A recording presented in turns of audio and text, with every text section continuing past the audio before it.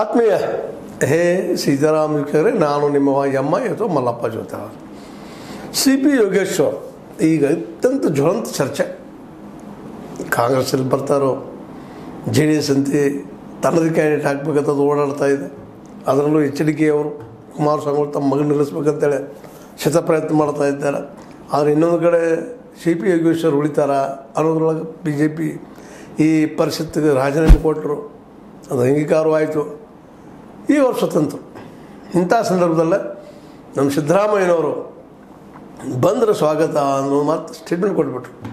ಇಲ್ಲಿವರೆಗೆ ಕಾಂಗ್ರೆಸ್ಸಿಗರು, ನಮ್ಮ D K Suresh, D K C ನಾವು ಇರ್ತೀವಿ ಅಂತ ಹೇಳ್ತಾ ಇದ್ರು ಈಗ ಅದು ಹೊಸ ಒಂದು ರೂಪ ಪಡ್ಕೊಳ್ಳಿಕ್ಕತ್ತದ ಅದಕ್ಕೆ ನಮ್ಮ ಸಿ ಪಿ ಯೋಗೇಶ್ವರ್ ಅವರಾದರೂ ಸಹಿತ, ಇಲ್ಲ, ದೊಡ್ಡ ಮನುಷ್ಯರು ಒಳ್ಳೆಯ ಮನಸ್ಸು, ಖರೀದಿದಾರ, ಸಾಯಂಕಾಲದಲ್ಲಿ ವಿಚಾರ ಮಾಡೋಣ ಅಂತ ಇವತ್ತಿನ ಸಾಯಂಕಾಲದಲ್ಲಿ ವಿಚಾರ ಮಾಡ್ತಾ ಮಾಡ್ತೀನಿ ಅನ್ನೋ ಮಾತು ಮಾತಾಡಿದಾರೆ.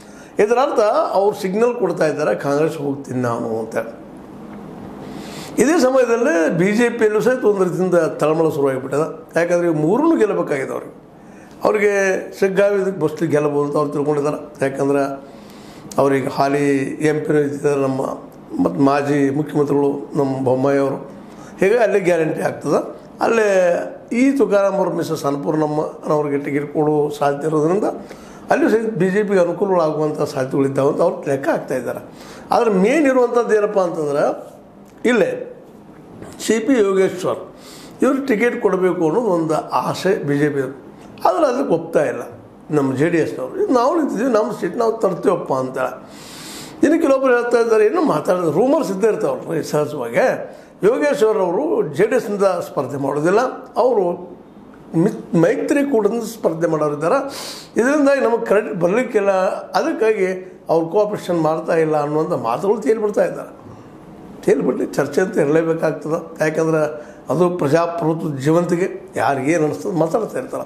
ಆದ್ರೆ ಇತ್ತೀಚಿನ ಡೆವಲಪ್ಮೆಂಟ್ ಮಾತ್ರ ಸಿ ಪಿ ಯೋಗೇಶ್ವರ್ ಅವರು ಬಿ ಜೆ ಪಿಯಿಂದಂತೆ ಹೊರಗೆ ಬಂದಂಗೆ ಆಗಿದೆ ಅಂತ ಅನಿಸ್ತಾ ಇದೆ. ಯಾಕಂದ್ರೆ ಈಗಾಗಲೇ ಆಲ್ರೆಡಿ ಡಿ ಕೆ ಶಿವಕುಮಾರ್ ಜೊತೆಗಾಗಲಿ ಅಥವಾ ಇನ್ನುಳಿದ ಬಿ ಕಾಂಗ್ರೆಸ್ನ ಸ್ನೇಹಿತರ ಜೊತೆಗೆ, ಮತ್ತು ಹಿಂದೆ ಕಾಂಗ್ರೆಸ್ನಾಗ ಇದ್ನೇನು ಅಂತ ಮಾತು ಮಾತಾಡೋದು ನೋಡಿದಾಗ, ಇವರು ಹೆಚ್ಚು ಕಡಿಮೆ ಕಾಂಗ್ರೆಸ್ ದೋಣಿಯಲ್ಲಿ ಮುಂದೆ ಹೋಗುವ ಸಾಧ್ಯತೆಗಳಿದ್ದಾವೆ ಒಂದು ವೇಳೆ ಕಾಂಗ್ರೆಸ್ನಿಂದ ಇವ್ರು ನಿಂತರ ಏನು ಆಗ್ಬೋದು?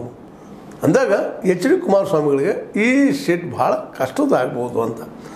ಯಾಕಂತಂದ್ರೆ ಡಿ ಕೆ ಶಿವಕುಮಾರ್ ಅವರಾಗಿರ್ಬೋದು, ಎಚ್ ಡಿ ಕೆ ಅವರ, ಎಚ್ ಡಿ ಕೆ ಅವರಾಗಿರ್ಬೋದು, ಯಾವುದೂ ಇದು ಮೂರು ನ್ಯಾಷನಲ್ ಪಾರ್ಟಿಗಳು. ಈ ಒಂದು ಏನಪ್ಪ ಚುನಾವಣೆಯಲ್ಲಿ ಖರ್ಚು ಮಾಡೋದ್ರಲ್ಲಿ ಹಿಂದೆ ಮುಂದೆ ನೋಡೋದೇ ಇಲ್ಲ. ಯಾಕಂದ್ರೆ ಇವತ್ತು ದುಡ್ಡಿನಿಂದ ನಡೆದಂತ ಎಲ್ಲರಿಗೂ ಗೊತ್ತಿದ್ದ ವಿಷಯ ಅದು. ದುಡ್ಡು ಹಂಚಿದ್ರೆ ಆರಿಸಿ ಬರ್ತಾರಪ್ಪ ಅಂತಿಲ್ಲ. ಹೀಗಾಗಿ ಆ ಮಾತು ಚರ್ಚೆನೇ ಆಗೋದಿಲ್ಲ ಯಾಕಂದ್ರೆ ಮೂರು ಪಾರ್ಟಿಗಳು ಅದೇ ಇದ್ದಾವೆ. ಎಲ್ಲರೂ ಕೊಟ್ಟು ಆರಿಸಿ ಬರಬೇಕು ಅನ್ನೋಂಥ ವಿಚಾರದವರು ಈ ಹೊಸದಾಗಿ ಒಂದು ಶುರುವಾಗಿದೆ ನಮ್ಮ ಸಿದ್ದರಾಮಯ್ಯರಿಂದ ಗ್ಯಾರಂಟಿಗಳು ಅಂತೇಳಿ ಹಾಗಾಗಿ ಇವತ್ತು ಸಿ ಪಿ ಯೋಗೇಶ್ವರ್ ಅವರು ಕಾಂಗ್ರೆಸ್ಗೆ ನಿಂತರೆ ಏನಾಗಬಹುದು ಅಂದಾಗ ಸ್ವಲ್ಪ ತಕಡಿ ಜೋರಾಗ್ತದೆ ಕಾಂಗ್ರೆಸ್ಸಿಂದು ಅಂತ.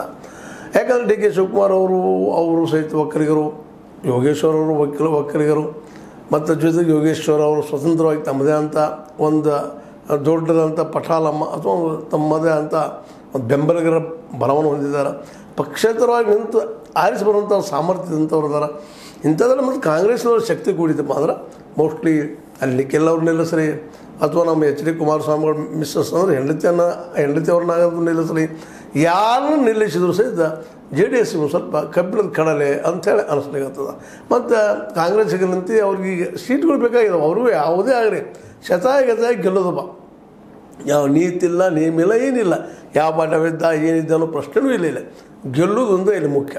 ಹೀಗಾಗಿ ಕಾಂಗ್ರೆಸ್ ಸಹಿತ ಈಗಾಗಲೇ ನಮ್ಮ ಸಿದ್ದರಾಮಯ್ಯನವರು ಆಹ್ವಾನ ಕೊಟ್ಟಾಯಿತು. ಬಂದ್ರಿ ಅಡ್ಡಿ ಇಲ್ಲ ಅನ್ನೋದು. ಅದಕ್ಕೆ ಇವರು ಉತ್ತರ ಕೊಟ್ಟಿದ್ದಾಯಿತು ಹೋದ್ರು ಇಂಥ ತಪ್ಪಿಲ್ಲ ಅಂತೇಳಿ, ದೊಡ್ಡ ಮನುಷ್ಯರು ಕರಿತಾ ಇದ್ದಾರಂತೆ. ಅಂದರೆ ಇದೇನು ತೋರಿಸ್ತದಪ್ಪ ಅಂದರೆ ಇದು ಕಾಂಗ್ರೆಸ್ನಿಂದ ನಮ್ಮ ಯೋಗೇಶ್ವರ್ ಅವರು ಸಿ ಪಿ ಯೋಗೇಶ್ವರ್ ಹೇಳ್ತಾರೆ, ಮತ್ತು ಗೆಲ್ಲುವ ಸಾಧ್ಯತೆಗಳು ಹೆಚ್ಚಾಗಿದ್ದಾವಂತೆ ಇದರಿಂದಾಗಿ ಒಂದು ಸ್ವಲ್ಪ ಶಾಕ್ ಆದಂಗೆ ಆಗಿದೆ ಎಚ್ ಡಿ ಕುಮಾರಸ್ವಾಮಿಗಳಿಗೆ ಯಾಕಂತಂದ್ರೆ ಒಂದೇ ಶಕ್ತಿನ ಎದುರಿಸೋದು ಕಷ್ಟ ಇತ್ತು ಅವ್ರಿಗೆ, ಯೋಗೇಶ್ವರ ಅವ್ರನ್ನ. ಜೊತೆಗೆ ಡಿ ಕೆ ಸಿ ಮತ್ತು ಅವ್ರ ಸಹೋದರ ಡಿ ಕೆ ಸುರೇಶ್ ಇಬ್ಬರು ಜೊತೆ ಸಿದ್ದರಾಮಯ್ಯನವರು, ಇವರೆಲ್ಲರೂ ಒಕ್ಕಟ್ಟಾಗಿ ಬಂದ್ರೆ ಮತ್ತು ಬಿ ಜೆ ಪಿಯಲ್ಲಿ ಪ್ರಾಬಲ್ಯ ಇಲ್ಲ ಅನ್ನುವಂಥ ಮಾತುಗಳು ಇದು ಚನ್ನಪಟ್ಟಣದಲ್ಲ. ಅವ್ರದ್ದು ಬೆಂಬಲಿಗರಿದ್ದಾರೆ, ಆದರೆ ಕಡಿಮೆ. ಆದರೆ ಯೋಗೇಶ್ವರ ಅವರು ಬೆಂಬಲಿಗರು ಸಾಕಷ್ಟು ಇದ್ದಾರೆ. ಹೀಗಾಗಿ ನಮ್ಮ ಎಚ್ ಡಿ ಕುಮಾರಸ್ವಾಮಿಗಳು ತಮ್ಮಲ್ಲಿ ಒಬ್ಬ ಯಾವುದಾದ್ರೂ ಕಾರ್ಯಕರ್ತ ನಿಲ್ಲಿಸ್ಬೋದೇನ ನಿಲ್ಲಿಸ್ಬೇಕೇನಂತ ವಿಚಾರ ಮಾಡ್ತಾ ಇದ್ದಾರೆ ಜೆ ಡಿ ಎಸ್ಸಿಂದ ಜೆ ಡಿ ಎಸ್ ಸೀಟ್ ಅದು ನಮ್ಮವ್ರು ನಿಲ್ಲಿಸ್ಬೇಕಂತ ಜೊತೆಗೆ ಈಗ ಕುಟುಂಬ ರಾಜಕಾರಣಿನೋ ಮಾಡಲಿಕ್ಕೆ ಹೊರಟಿದ್ರು, ತಮ್ಮ ಮಗನ ನಿಲ್ಲಿಸ್ಬೇಕಂತೇಳಿ. ಆದ್ರೆ ಆ ಮಗನ ನಿಲ್ಲಿಸುತ್ತ ಅಂದ ತಕ್ಷಣ ಇವತ್ತು ಇವರು ಕಾಂಗ್ರೆಸ್ ಕಡೆ ಹೋಗ್ತಾ ಇದ್ದು, ಜೊತೆಗೆ ರಾಜೀನಾಮೆ ಕೊಟ್ಟಿದ್ದು ಬಿ ಜೆ ಪಿಯಿಂದ ಮತ್ತು ಬಿ ಜೆ ಪಿಯವ್ರು ಈಗಾರು ಹೇಳ್ತಾ ಇದ್ದಾರೆ, ಇಲ್ಲ ದಯವಿಟ್ಟು ಕಳ್ಕೊಳ್ಳೋದು ಬೇಡ, ನೀವು ಯೋಗೇಶ್ವರ್ ಅವ್ರ ಟಿಕೆಟ್ ಕೊಡ್ರಿ ಜೆ ಡಿ ಎಸ್ನಿಂದ ಅನ್ನುವಂಥ ಮಾತು ಮಾತಾಡ್ತಿದ್ದಾರೆ ಅಂತೇಳಿ ಕೇಳಿ ಬರ್ತಾ ಇದ್ದವು ಆದರೆ ಅದನ್ನು ಬಿಡು ಮನಸ್ಸು ನಮ್ಮ ಎಚ್ ಡಿ ಕುಮಾರಸ್ವಾಮಿಗಳಿಗೆ ಇಲ್ಲ. ಇದರಿಂದಾಗಿ ಮೋಸ್ಟ್ ಪ್ರೊಬರಿ ಇವತ್ತ ಈ Channapatna most probably J D ಎಸ್ನಿಂದ ಅಥವಾ ಈ ಬಿ ಜೆ ಪಿಯಿಂದ ಕೈ ಜಾರಿ ಹೋಗ್ತದೇನೋ ಅಂತೇಳಿ ಮಾತು ಕೇಳಿ ಬರ್ತಾ ಇದ್ದಾವೆ ಜೊತೆಗೆ ಸಿದ್ದರಾಮಯ್ಯನವರಾದ ಸಹಿತ ಅವ್ರಿಗೆ ಸೀಟ್ ಬೇಕಾಗಿದೆ, ಮೂರು ಮೂರು ಗೆಲ್ಲಬೇಕಾಗಿದೆ ಅದು ಗೆಲ್ತಾರೋ ಇಲ್ಲೋ ಸೆಕೆಂಡರಿ ಅದ್ರ ಗೆಲ್ಲುವ ಪ್ರಯತ್ನವನ್ನು ಪ್ರಾಮಾಣಿಕವಾಗಿ ಮಾಡ್ತಾ ಇದ್ದಾರೆ. ಇದರಿಂದಾಗಿ ಬಿ ಜೆ ಪಿಗೆ ಒಂದು ಸ್ವಲ್ಪ ಶಾಕ್ ಆಗೋ ಸಾಧ್ಯತೆಗಳು ಇದಾವೆ. ಬಿ ಜೆ ಪಿ ಅಂತ ಮತ್ತು ಮತ್ತು ಒತ್ತಡ ತರ್ತಾ ಇದೆ ಇದ್ರ ಮೇಲೆ ಜೆ ಡಿ ಎಸ್ ಮೇಲೆ. ಇಲ್ಲ, ನೀವು ಯೋಗೇಶ್ವರ್ ಅವ್ರನ್ನ ಒಪ್ಪ್ರಿ ಅವ್ರ ಟಿಕೆಟ್ ಕೊಡ್ರಿ ಅನ್ನುವಂಥ ಮಾತನ್ನು ಒತ್ತಡ ಮೂಲಕ ಹೇಳ್ತಾ ಇದೆ. ಆದರೆ ಅದನ್ನು ಕೇಳೋ ಸ್ಥಿತಿಯಲ್ಲೇ ಕುಮಾರಸ್ವಾಮಿಗಳಾಗಲಿ, ಅವರ ಮಗ ನಿಖಿಲ್ ಕುಮಾರಸ್ವಾಮಿ ಆಗಲಿ, ಅವ್ರು ನಿಲ್ ಇರೋ ಸ್ಥಿತಿಯೊಳಗೆ ಇಲ್ಲ. ಇದರಿಂದಾಗೆ ಸಿ ಪಿ ಯೋಗೇಶ್ವರ್ ಅವರು ಈ ಚನ್ನಪಟ್ಟಣದಿಂದ ನಿಂತ, ಅದು ಕಾಂಗ್ರೆಸ್ ನಿಂತ ಹೆಚ್ಚು ಗೆಲ್ಲುವಂಥ ಸಾಧ್ಯತೆಗಳು ಅಧಿಕ ಆಗಿದ್ದಾವೆ ಹೀಗಾಗಿ ಚನ್ನಪಟ್ಟಣ ಮೋಸ್ಟ್ ಪ್ರಾಬ್ಲಿ ಕಾಂಗ್ರೆಸ್ ಪಾಲಾಗಬಹುದು ಅಂತ ಭಾಳಷ್ಟು ಜನ ವಿಶ್ಲೇಷಣೆ ಮಾಡ್ತಾ ಇದ್ದಾರೆ. ಅದು ಸತ್ಯವೂ ಇಲ್ಲ ಅಂತಲ್ಲ. ಕಾಂಗ್ರೆಸ್ ಮತ್ತು ಯೋಗೇಶ್ವರ್ ಇಬ್ಬರು ಪ್ಲಸ್ ಆದ್ರಪ್ಪ ಅಂದ್ರೆ ಈ ಬಿ ಜೆ ಪಿ ಅನೇಕ ಹೊರಗಡೆ ಹೊಡೆದು ಹೋಗೋ ಸಾಧ್ಯತೆಗಳಿದ್ದಾವೆ ಯೋಗೇಶ್ವರ್ ಮೇಲೆ ಪ್ರೀತಿ ಮತ್ತು ಸಹಜ ಅವರು ಒಕ್ಕಲಿಗರು ಇರೋದರಿಂದ ಮತ್ತು ಜೊತೆಗೆ D K Shivakumar D K Suresh ದುಡ್ಡು ಹಂಚೋದ್ರಲ್ಲಿ ಮಾಹಿರ್ ಇರೋದರಿಂದಾಗಿ ಎಲ್ಲರೂ ಮಾಹಿರ್ ಇರೋದರಿಂದಾಗಿ ಮೋಸ್ಟ್ ಪ್ರಾಬ್ಲಿ ಕಾಂಗ್ರೆಸ್ಸಿನ ತಗಡೆ ಒಂದು ಸ್ವಲ್ಪ ಜೋರಾಗ್ತದೆ. ಈ ಎಲ್ಲ ನೆಲೆಯಲ್ಲಿ ಈ ಒಂದು ಚನ್ನಪಟ್ಟಣದ ಈಗಿನ ಚುನಾವಣೆ ಏನದಪ್ಪ ಅಂತಂದ್ರೆ ಭಾಳಷ್ಟು ದಿನದ ದಿನ ಬಿಸಿ ಏರಿಸ್ತಾ ಇದೆ. ಈ ಬಿಸಿಗೆ ಉತ್ತರ ಇನ್ನು ಮುಂದಿನ ದಿನದಲ್ಲಿ ಸಿಗ್ಬೋದಿಲ್ಲ ಅಂತಲ್ಲ.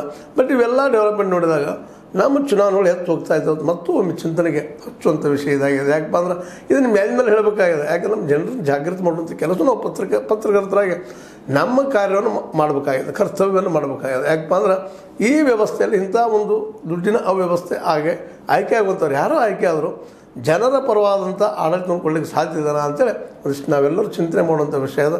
ಇವತ್ತು ಎಚ್ ಡಿ ಕುಮಾರಸ್ವಾಮಿಗಳಾಗಿರ್ಬೋದು, ಅವರು ಜಾತಿಯನ್ನು ಹಿಡ್ಕೊಂಡು ಈ ರಾಜಕಾರಣ ಮಾಡ್ತಾ ಇದ್ದಾರೆ. ಜೊತೆಗೆ ಹಣಬಲವನ್ನು ಬಳಸ್ತಾರೆ ಅನ್ನುವಂಥ ವಾದಗಳಿಂದ ಭಾಳ ಜನ ಆರೋಪ ಮಾಡ್ತಾರೆ ಕಾಂಗ್ರೆಸ್ಸಿಗರು. ಅದೇ ರೀತಿ ಕಾಂಗ್ರೆಸ್ಸಿಗರು ಹಣವನ್ನು ಹಂಚ್ತಾರೆ ಅಂದರೆ ಎಚ್ ಡಿ ಕೆ ಅಥವಾ ಅವರು ಜೆ ಡಿ ಎಸ್ ಮತ್ತು ಬಿ ಜೆ ಪಿ ಆರೋಪ ಮಾಡ್ತಾ ಇದ್ದಾರೆ. ಇಲ್ಲಿ ಒಬ್ರಿಗೊಬ್ರು ಆರೋಪ ಮಾಡ್ತಾನೆ ಇದ್ದಾರೆ, forty percent fifty percent sixty percent ಅಂತ ಹೇಳ್ತಾ. ಆದರೆ ಇವರೆಲ್ಲರೂ ಈ ದುಡ್ಡನ್ನು ನಮ್ಮ ಟ್ಯಾಕ್ಸಿಂದ ಹಂಚ್ತಾ ಇದ್ದಾರೆ ಅನ್ನೋದು ನಾವೆಲ್ಲ ನೆನಪಿಟ್ಟುಕೊಂಡು, ಇವರಲ್ಲಿ ಯಾರು ಯೋಗ್ಯರಿದ್ದಾರೆ ಅನ್ನೋದು ಆಯ್ಕೆ ಮಾಡುವಂಥದ್ದು ಆಯಾ ಕ್ಷೇತ್ರಗಳು ಅಲ್ಲಿಯ ಮತದಾರರ ಒಂದು ದೃಢ ನಿರ್ಧಾರ ಆದರೆ ಭಾಳ ಒಳ್ಳೇದು. ಇಲ್ಲದಪ್ಪ ಅಂತಂದ್ರೆ, ಮತ್ತು ಅದೇ ರೀ, ಅದೇ ರೀತಿ ಅದೇ ರಾಗ, ಅದೇ ಹಾಡ, ಅವರ ಬರೋರು ಅದೇ ಅದೇ. ಇದಕ್ಕೆ ಕೊನೆ ಎಂಬುದು ಇಲ್ಲ ಅಂತೇಳಿ ಈಗಾಗಲೇ ಭಾಳಷ್ಟು ರಾಜಕೀಯ ತಜ್ಞರು ಇದ್ರ ಬಗ್ಗೆ ಅನಾಲಿಸಿಸ್ ಮಾಡ್ತಾ ಇದ್ದಾರೆ, ಹೇಳ್ತಾ ಇದ್ದಾರೆ. ಆದರೆ ಅದೇನೂ ಇರಲಿ, ಈಗ ಮಾತ್ರ ಸಿ ಪಿ ಯೋಗೇಶ್ವರರವರು ಕಾಂಗ್ರೆಸ್ನಿಂದ ನಿಂತರ ಗೆಲ್ಲುವ ಸಾಧ್ಯತೆಗಳು ಅಧಿಕ ಅದಾವೆ ಅನ್ನೋದಷ್ಟು ಸತ್ಯದ. ಯಾವ ರೀತಿಯಾಗಿ? ಅಲ್ಲಿಯ ರಾಜಕೀಯ ವಿಶ್ಲೇಷಕರು ವಿಶ್ಲೇಷಣೆ ಮಾಡ್ತಾ ಇದ್ದಾರೆ. ಇನ್ನು ಸಿ ಪಿ ಯೋಗೇಶ್ವರ್ ಅವರು ಇದರಿಂದ ನಿಲ್ತಾರೋ ಅಥವಾ ಅವರು ಪಕ್ಷೇತರ ನಿಲ್ತಾರೋ ಅಥವಾ ಕಾಂಗ್ರೆಸ್ನ ನಿಲ್ತಾರೋ ಇವೆಲ್ಲವೂ ಇನ್ನು ಮುಂದಿನ ಕೆಲವೇ ಕೆಲವು ಗಂಟೆಗಳಲ್ಲಿ ಸ್ಪಷ್ಟ ಆಗುವ ಎಲ್ಲ ಸಾಧ್ಯತೆಗಳಿದಾವೆ. ಅದರಿಂದಾಗಿ ಈಗಾಗಲೇ ಆಹ್ವಾನ ಕೊಟ್ಟಿದ್ದಾರೆ ಸಿದ್ದರಾಮಯ್ಯ, ಸಿದ್ದರಾಮಯ್ಯನವರು. ಅವರು ದೊಡ್ಡವ್ರಪ್ಪ, ದೊಡ್ಡ ವ್ಯಕ್ತಿ ಅಂತ ಇವರು ಹೇಳಿದ್ದಾರೆ. ಹೀಗಾಗಿ ಮೋಸ್ಟ್ಲಿ ಸಿ ಪಿ ಯೋಗೇಶ್ವರ್ ಅವರು ಕಾಂಗ್ರೆಸ್ನಿಂದ ಫೈಟ್ ಮಾಡೋದು ಹೆಚ್ಚು ನಿಶ್ಚಿತ ಆಗೈತಿ ಅಂತೇಳಿ ಈ ಇತ್ತೀಚೆಗೆ ಬರುತ್ತಿರುವಂಥ ವರದಿಗಳು ತಿಳಿಸ್ತಾ ಇದ್ದಾವೆ. ಇನ್ನು ಎಲ್ಲೇದು ಇರ್ತಾರೋ ಏನು ಮಾಡ್ತಾರೋ, ನೋಡೋಣ. ಇನ್ನೇನು ಭಾಳಷ್ಟಿಲ್ಲ ಅಂತ ಹೇಳ್ತಾ. ಇದು ಈಗಿನ ಇತ್ತೀಚಿನ ಸುದ್ದಿ ವಿಶ್ಲೇಷಣೆ. ನಿಮಗೇನು ಅನಿಸ್ಬೋದು? ಲೈಕ್ ಆಗ್ಬೋದಾ? ಎಲ್ಲ ಡಿಸ್ಲೈಕ್ ಆಗ್ಬೋದಾ? ಲೈಕ್ ಲೈಕ್ ಮಾಡಿ ಶೇರ್ ಮಾಡಿ ಕಮೆಂಟ್ ಮಾಡಿರಿ. ಜೊತೆಗೆ ಸಬ್ಸ್ಕ್ರೈಬ್ ಆಗೋದು ನಿಲ್ಲಿಸ್ಬೇಡ್ರಿ. ಹೇ ಸೀತಾರಾಮ್ ಸತ್ಯದ ನೋಡಿ ವಂದನೆಗಳು.